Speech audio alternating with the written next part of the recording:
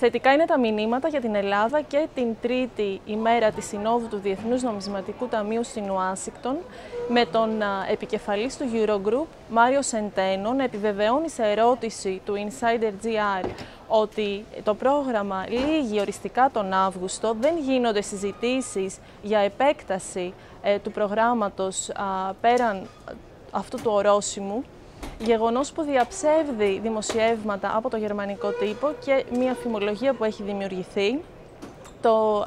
αυτό το επιβεβαιώνει το επιβεβαίωσε κατόπιν με δήλωσή του στο Γαλλικό Πρακτορείο και ο Πιέρ Μοσκοβισή, ο Ευρωπαίος Επίτροπος. Επομένως όλα δείχνουν ότι πάμε για οριστική λήξη του προγράμματος το καλοκαίρι. Από εκεί και πέρα όσον αφορά την εποπτεία που θα ακολουθήσει αλλά και φυσικά το κρίσιμο ζήτημα της ελάφρυνσης του ελληνικού χρέους γίνονται α, συζητήσεις ανάμεσα στους Ευρωπαίους αξιωματούχους και στο Διεθνές Νομισματικό Ταμείο θα κορυφωθούν στο Washington Group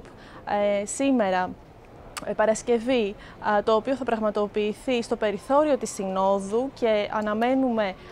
να δούμε τι θα συζητήσουν οι εμπλεκόμενες πλευρές για την Ελλάδα. Στην συνέντευξη τύπου που παραχώρησε η Γενική Διευθύντρια του Ταμείου στην, την Πέμπτη, ε, στην Ουάσιγκτον έκανε λόγο, ήταν πολύ θετική σε αυτά που είπε για την Ελλάδα. Είπε ότι οι αγορές δίνουν ψήφο εμπιστοσύνης και είναι ε, έτοιμες και να δανείσουν και διατεθειμένες στην Ελλάδα έτσι όπως διαμορφώνεται αυτή τη στιγμή η κατάσταση και απεικονίζεται και στις αποδόσεις των ελληνικών ομολόγων.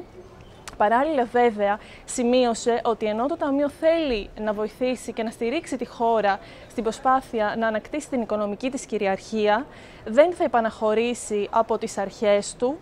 και αυτό είναι ένα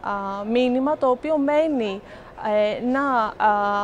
να εξηγηθεί στη συνέχεια τις επόμενες ημέρες, καθώς ακόμα δεν έχουμε ένδειξη τι πραγματικά θα συμβεί ε, με το ελληνικό πρόγραμμα, αν θα συμμετέχει το Διεθνές Νομισματικό Ταμείο ή όχι. Πάντως, σε κάθε περίπτωση, αυτό που βεβαιώνουν όλες οι πλευρές είναι ότι το πρόγραμμα λύγει οριστικά τον Αύγουστο.